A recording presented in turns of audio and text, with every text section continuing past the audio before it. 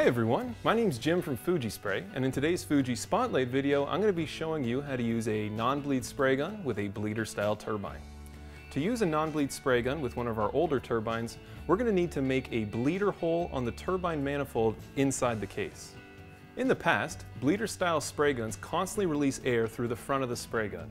Newer non-bleed spray guns only release air when the trigger is engaged, meaning we need to bleed off the air elsewhere to ensure the motor doesn't encounter too much heat inside the turbine case. If you own a Super, a Q3, or a Q4 and the words Pro, Gold, or Platinum aren't on the front of the case, you will be required to make a bleeder hole. First, unplug the turbine. Then, remove the eight case screws from the right side of the case and set aside. Now the manifold is the pipe that leads from the motor housing to the front of the case where you would attach the 25 foot hose. Now that you can reach the manifold, drill a 3 16 inch hole. After making the hole, you can replace the side of the case.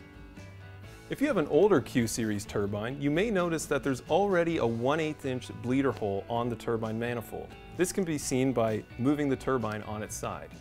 In this case, simply open the bleeder hole from 1 8 of an inch to 3 16 of an inch using a drill. If you own an original Fuji Spray turbine from the mid to late 80s, you may notice that your turbine manifold is made out of cast iron. We do not recommend making any sort of modification to this manifold as you may permanently damage the turbine.